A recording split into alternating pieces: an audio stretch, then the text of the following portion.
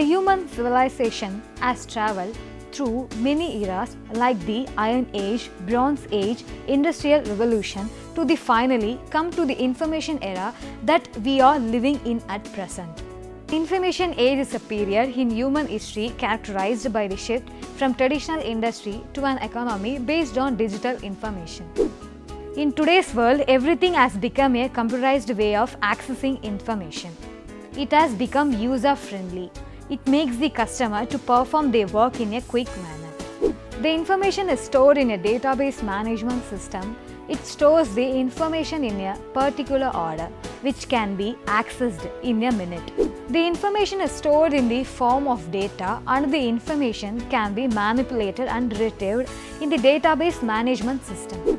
Database management system refers to the process of linking different databases in order to access information from various sources. Thus, we generate different types of reports or queries based on the needs of the user. The applications of a database management system are manifold.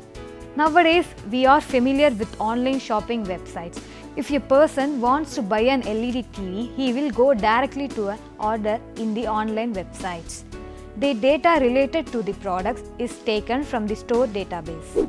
Similarly, in the hospital, a receptionist maintains all the records like appointment, patient ID, patient history, etc. in a database that is stored in a server that can be accessed from anywhere in the hospital.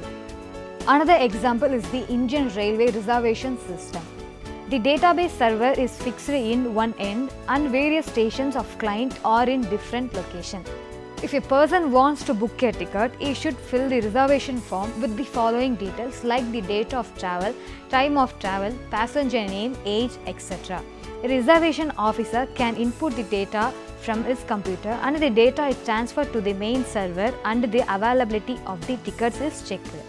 Finally, in an e-learning course like this one, the contents are stored in a database and hence they can be retrieved by students anytime and anywhere.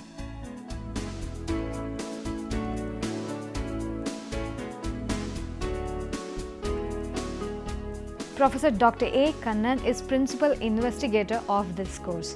He is a professor, Department of Information Science and Technology, CEG campus, Anna University, Chennai. He has 25 years of teaching experience and his area of interest is database management system and artificial intelligence.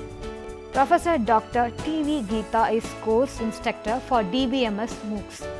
She is a senior professor in the Department of Computer Science and Engineering, CEG campus, Anna University. She has 33 years of teaching experience.